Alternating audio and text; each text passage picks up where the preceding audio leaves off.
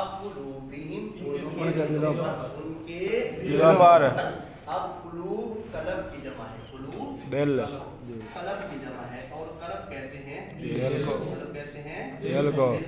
अला कुलूबिहिम उनके दिलों पर व अला समइहिम और उनके कानों पर। हम समा समा का मतलब क्या होता है? समा सुनने। सुनना सुनना सुनना। क्या होता है? सुनना। अब वाला समईहिम और उनके कानों पर यानी अल्लाह पाक ने मोहर लगा दी उनके दिलों पर और उनके कानों पर। वाला रिशावतुन वाला अबसारिहिम। और उनकी आँखों पर अबसार पर्दा। और हम आलय बसारत लफ्ज सुनते हैं। हाँ बसारत मतलब होता है देखना। देखना। बसारत मतलब क्या होता है? देखना। वाला अब सारिहिम उनकी आँखों पर। आँखों पर रिशावतुन पर्दा है। वाला हम अजाबुन अजीम और उनके लिए बहुत बड़ा अजाब है।